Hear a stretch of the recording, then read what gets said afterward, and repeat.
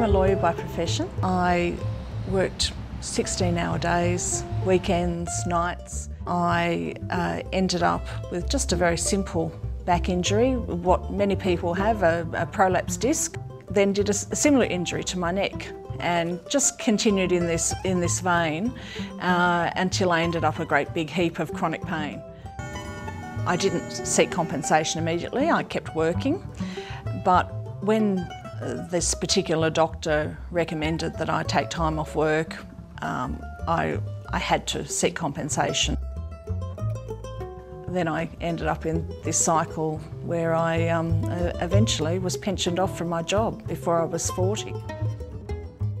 That introduced me to a whole new world of, of uh, medico-legal specialists, which was something I'd never encountered before and was a real shock to my system. I was working in a human rights field of law, so uh, litigation was actually quite foreign to me, even though I was a lawyer. And I have to say, I pity anyone who's not a lawyer who's entering the, me the medico-legal field or the compensation field. My experience is that you walk into any medico-legal consultant's office and their attitude is just say no.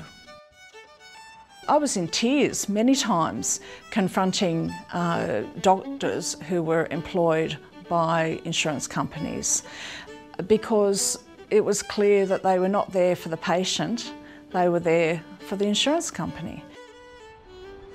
I often wonder why doctors become medico-legal consultants.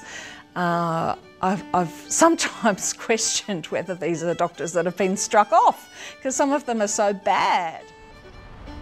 Their job is to say no because they're paid by an insurance company and they need to ensure their continued income with that, insur with that insurance company.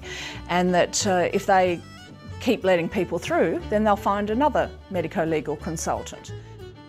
I have to think, you know, where's the Hippocratic Oath for these doctors? You know, have they forgotten what their profession is all about?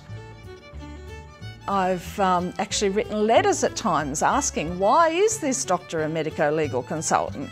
He's old and crotchety and um, can he no longer see patients anymore? I've, never got any answers to those questions of course. I've been a bit, bit um, uh, you know, gung-ho in asking those questions but they're, they're not the sort of doctors that I would go and see as a patient. I have had 10 years now of seeing medico-legal specialists. I've challenged every single report that's been written about me successfully.